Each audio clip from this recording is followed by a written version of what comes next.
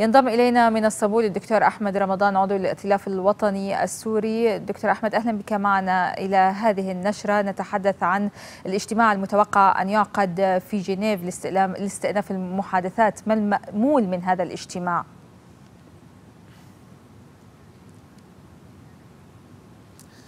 يعني هناك محاولة لوضع التفاهمات التي جرت مؤخرا بين الطرفين الروسي والأمريكي على المحك خاصة فيما يتعلق بوقف القصف والعودة إلى العملية التفاوضية والضغط أيضا على النظام من أجل الالتزام بما نصت عليه جنيف ومقتضيات أيضا القرارات الدولية. ليس هناك أمل كبير لدى كافة الأطراف بما فيها الطرف الأمريكي من أن النظام سيلتزم وأن الجانب الإيراني الذي يقوم بالعمليات الميدانية عبر الحرس الثوري الإيراني أيضا سوف يلتزم. وليس هناك أمل بأن الجانب الروسي نفسه الذي أعطى الالتزامات في اجتماعات موسكو وغيرها سوف أيضا يلتزم بوقف القصف الذي يقوم به. وشاهدنا خلال الأيام القليلة الماضية واليوم أيضا استمرار هذا القصف مما أدى إلى وقف وإلغاء صلاة الجمعة في م. محافظتي حلب وإدلب نتيجة القصف المتواصل بالطيران الروسي وطيران النظام. لذلك أعتقد أن الأمور هي قيد الاختبار وهناك رغبة بالانتظار لرؤية هذا الاجتماع عن ماذا سيسفر ومدى التزام الأطراف يعني إذا كان هذا آه إذا كانت كذلك أنت غير آمل في حظوظ لنجاح هذه المفاوضات دكتور.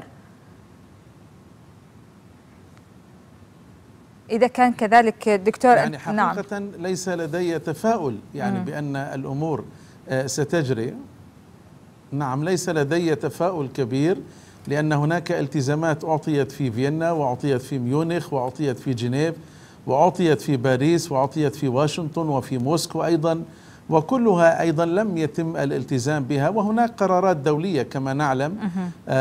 أحدها القرار 2118 والقرار 2254 وبينهما سلسلة طويلة من القرارات المختصة بالعملية السياسية والمختصة أيضا بالجانب الإغاثي والإنساني وجميعها للأسف جرى نقضها وعدم الالتزام بها من مختلف الأطراف الدولية وأيضا من قبل النظام ومن قبل الإيران الإيران الغازية الآن للدولة السورية وللشعب السوري.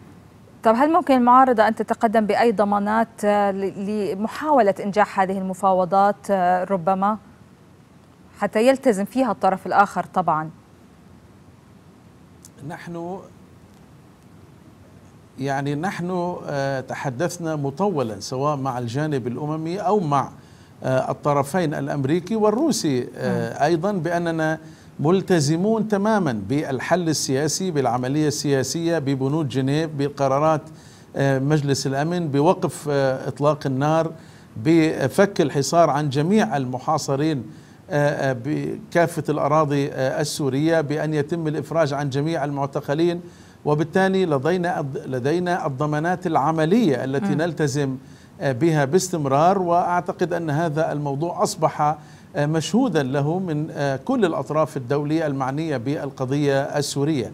المشكلة تحديد تحديدا أن الطرف الآخر ممثلا بالنظام وبحلفائه الروس والإيرانيين هم الذين ينتهكون هذه القرارات وينتهكون الالتزامات وليست لديهم رغبة بالحل السياسي وليست لديهم رغبة بالمضي قدما بالعملية التفاوضية، هذه هي المشكلة تحديدا. نعم أشكرك جزيل الشكر دكتور أحمد رمضان عضو الائتلاف الوطني السوري، شكرا جزيلا لك كنت معنا من إسطنبول.